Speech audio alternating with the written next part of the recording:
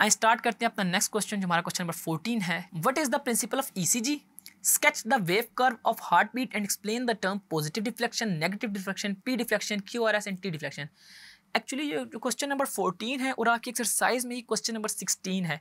ये दोनों same questions थे। अब हमारे पास क्वेश्चन नंबर फोर्टीन में ना ईसीजी का नेगेटिव डिफ्लेक्शन तक पूछा हुआ था। जबकि हमारे पास जो क्वेश्चन नंबर सिक्सटीन था एक्सरसाइज का, उसमें P deflection Q R S और टी डिफ्लेक्शन को पूछा हुआ था। तो मैंने क्वेश्चन नंबर फोर्टीन को और क्वेश्चन नंबर सिक्सटीन को एक क्वेश्चन में एक्सप्लेन किया है। ठीक है? तो आए स्टार्ट करते हैं। सबसे पहले आपने ईसीजी के बारे में बता देना कि ईसीजी हमारे पास एक डिवाइस है, जिसके ज़रिए हम हार्ट की एक्टिविटी को स्टडी कर रहे होते हैं। और इसका वर्किंग प्रिंसिपल क्या है कि हमारे पास जो हार्ट है at the time of contraction एक इलेक्ट्रिकल सिग्नल को जनरेट करता है और उस इलेक्ट्रिकल सिग्नल को हम इलेक्ट्रोकार्डियोग्राफ पे देख लेते हैं और उसकी हम स्टडी के ज़रिए हार्ट की अब को डिटेक्ट कर लेते हैं।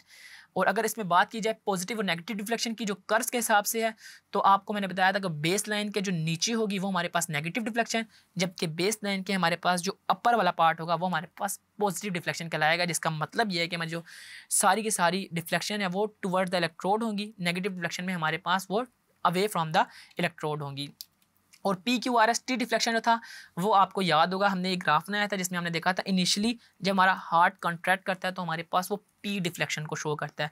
जबकि वो जब अपनी पीक पे होता है, अपनी कॉन्ट्रैक्शन की पीक पे होता है तो वो हम उसको स्प्लिट करते हैं तीन हिस्सों में क्यू आर और एस में, जिसको हम क्यू आर एक्स कम्प्लेक्स भी बोल रहे होते हैं। ठीक है क्यू आर एस में इसको स्प्लिट करते हैं और एट दी एंड जब हमारा हार्ट अपनी पूरी की पूरी वेव को रेप्लीकेट करने के टाइम पर होता है तो वो हमारे पास टी डिफ्लेक्शन होता है टी डिफ्लेक्शन को हम लोग इसी बेसिस पे डिफाइन भी कर रहे होते हैं कि the T deflection correspond to a repolarisation और recovery of the heart cell in the preparation of the next beat कि हमारे पास मैंने आपको बताया ना, ये अपनी ही एक्टिविटी को रेप्लीकेट कर रहा होता है और नेक्स्ट बीट की स्टार्टिंग में या हमारे पास प्रीवियस बीट की एंडिंग पे टी डिफ्लेक्शन शो होती है। आपने अपने पेपर में ईसीजी e को ऐसे एक्सप्लेन कर देना कि पहले उसको डिफाइन उसका वर्किंग प्रिंसिपल उसके बाद आपने नेगेटिव पॉजिटिव डिफ्लेक्शन और एट दी एंड आपने पी क्यू आर एस और टी की डिफ्लेक्शन को भी वन बाई वन करके एक्सप्लेन कर देना है।